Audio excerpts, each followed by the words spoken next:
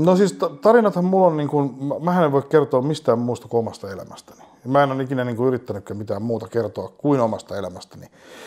Mulla on, mä olen siis erittäin etuoikeutettu ihminen. Mä olen äh, päässyt tapaamaan, tutustunut hyvin erilaisiin ihmisiin.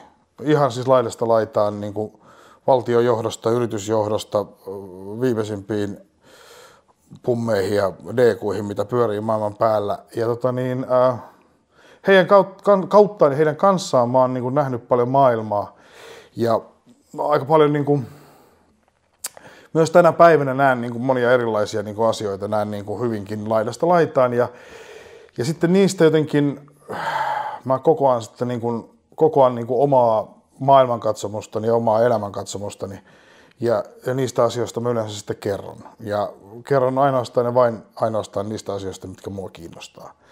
Ja nyt sitten mä oon huomannut, jotenkin sellainen, että niin tarinan kerronta on mun mielestä, se on ennen ollut paljon suuremmassa arvostuksessa myös Suomessa. Ja mun mielestä se on jossain, se on kääntynyt jonkunnäköisen niin kuin inflaation, koska niin kuin tarinan kerrontaa ei tarkoita mun mielestä pelkästään sitä, että kerrotaan tarinoita, vaan niihin yleensä aina liittyy, ainakin mulla opetettiin lapsuudesta, niihin liittyy yleensä myös joku opetus.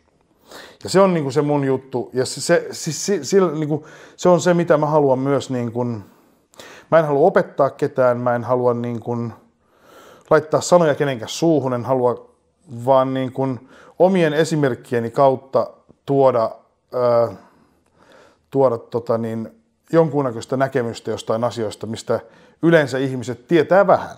Esimerkiksi nyt on paljon niin kuin, kulkenut tuolla Venäjällä ja saanut turpaania ja saanut palkintoja ja kaikkea mahdollista siitä väliltä, mitä siinä maassa on mulle tapahtunut, niin sen kautta mä oon oppinut aika hyvin tunteisen maan. Niin sen takia mulla on iso osa tarinoita totta kai liittyy siihen maahan.